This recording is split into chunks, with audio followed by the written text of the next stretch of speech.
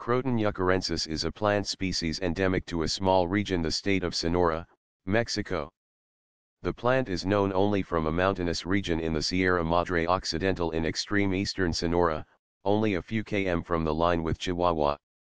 All the known populations lie within 60 kilometers of one another in open rocky areas in pin oak woodlands at elevations of 1200 to 1700 m. Croton yecorensis is a perennial herb or subshrub, sparingly branched, up to 100 centimeters tall. Leaves are alternate, narrow, and linear, up to 7 centimeters long but rarely more than 1 centimeter wide, covered with small stellate, highly branching, hairs. Flowers are borne in terminal racemes up to 5 cm long, with 1 to 5 pistillate, female, flowers near the base plus 12 to 42 staminate, male, flowers above.